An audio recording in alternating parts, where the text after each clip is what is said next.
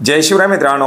मित्रांनो Kusum solar pump योजनेअंतर्गत solar पंपासाठी अर्ज केलेल्या बऱ्याच साऱ्या शेतकऱ्यांना कुसुम महाऊर्जेच्या वेबसाईटवरती लॉग इन करत असताना इलिमिटेड क्रेडेन्शियल अर्थात आपला आय डी पासवर्ड चुकीचा आहे असं दाखवत आहे. मित्रांनो असा जर एरर आला तर लॉग इन करण्यासाठी काय करायचं? आपला पासवर्ड रिसेट कसा करायचा?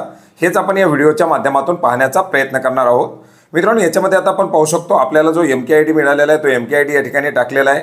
जो पासवर्ड आपला आहे तो पासवर्ड टाकलेला आहे परंतु लॉग इन करत असताना आपण पाहू शकता इनव्हॅलिड क्रेडेन्शियल असं दाखवलं जात आहे.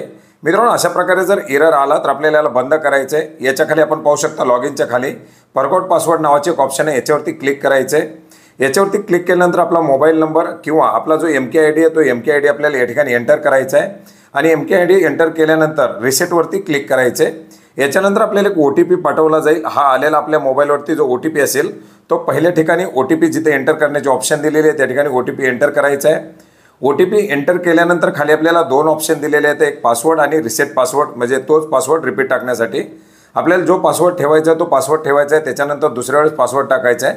आणि रिसेट पासवर्डवरती क्लिक करायचं आहे मित्रांनो आपला रिसेट पासवर्ड रिसेट झालेला आहे आणि याच्यानंतर आपण आपला जो एम के आय डी असेल तो एम के आय डी आणि पासवर्ड टाकून पुन्हा या ठिकाणी लॉग इनचा ट्राय करू शकता. आणि हे झाल्याबरोबर आपल्या या ठिकाणी लॉग इन होणार आहे. ज्याच्यामध्ये आपला इनकम्प्लीट अर्ज असेल तर कंप्लीट करू शकता.